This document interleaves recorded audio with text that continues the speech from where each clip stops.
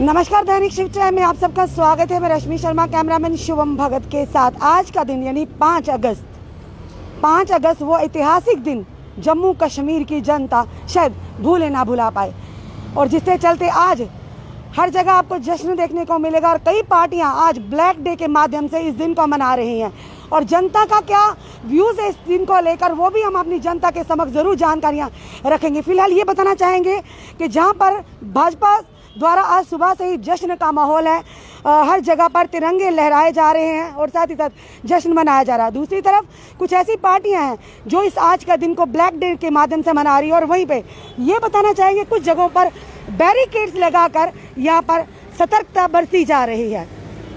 इस समय हम बता रहे हैं गुजर नगर पुल का ये ये जो पूरा दृश्य दानिक शिवचैन के माध्यम से कि पूरी तैनाती कर दी गई है, यहाँ पर पुलिस की पूरी तैनाती कर दी गई है कि जिस तरह से आज के दिन रातों रात वो फैसला, वो ऐतिहासिक फैसला लाया गया कि सुबह होते ही, यानी कि रात को जब हम सोए तो स्टेट थी, जम्मू कश्मीर स्टेट थी, और सुबह जब उठते ही पता चला कि आज हम स्टेट नहीं, केंद्र शासित प्रदेश बन गए हैं, यानी जम्मू कश्मीर यूटी में तब्दील हो गया।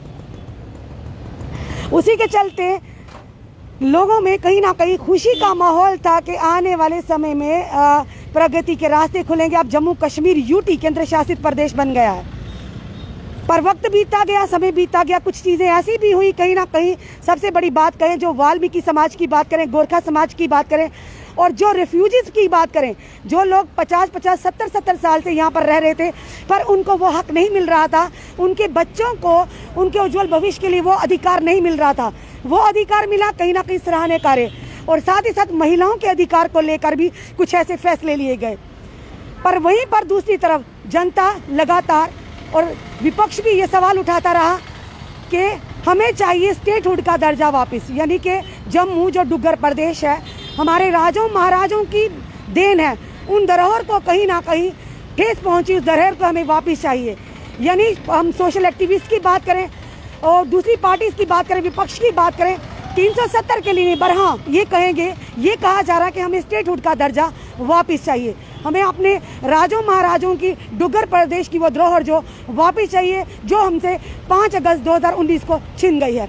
इस समय हम आपको लाइव दृश्य बता रहे हैं यहाँ के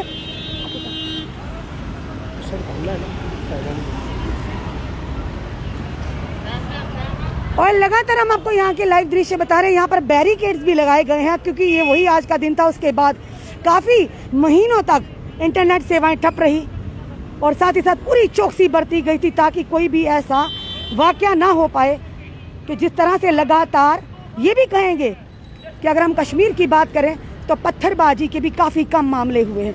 और आतंकवाद का जिस तरह से सफाया किया जा रहा है, ऑपरेशन आल आउट भी जारी पर कहीं ना कहीं सवाल ये है कि जनता ने क्या खोया, क्या पाया? क्या आज जनता खुश है आज के दिन? क्या जनता आज खुश है? जो भी समय हमें लाइव में देख रहे हैं, अपने कमेंट ज़रूर कमेंट बॉक्स में दीजिए कि आज के दिन के लिए अपनी, हमारी जनता के क्या व्यूज़ हैं? क्या वाकई जो वायदे किए गए थे बेरोजगारी के वो खत्म हुए हैं? क्या वाकई वायदे किए थे प्रगति के रास्ते खुलेंगे? बड़ी बड़ी कंपनीज़ आकर यहाँ पर इन्वेस्ट करेंगी और हमारे बेरोजगार युवाओं को रोज़गार मिलेगा।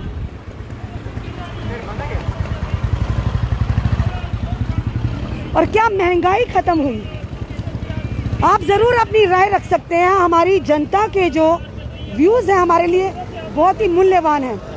इस समय गुजरनगर पुल के ऊपर पूरी चौकसी बरती जा रही है। बैरिकेड्स भी लगाए जा रहे हैं। पुलिस की पूरी टीम यहाँ पर मौजूद है। यहाँ के थाना प्रभारी के साथ उनकी पूरी टीम यहाँ मौजूद है। यहाँ के थाना प्रभारी अयूब जी के साथ पूरी उनकी टीम मौजूद है। कोशिश यही की जा रही है कि कोई ऐसी घटना ना, अप्रिय घटना ना हो इसी के चलते, जो कि पूरी चौकसी बरती जा रही है। जनता इस समय जो देख रही है, क्योंकि जनता का, जनता के जो कमेंट्स हैं, जनता के सुझाव हैं, हमारे लिए बहुत ही मूल्यवान हैं।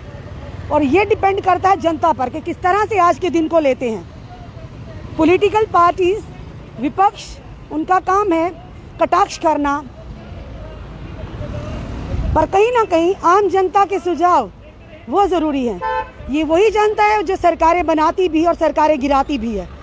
आखिर जनता ने आज के दिन के बाद, यानी 5 अगस्त 2019 के बाद, आज लगभग दो साल होने को आए, दो साल हो गए।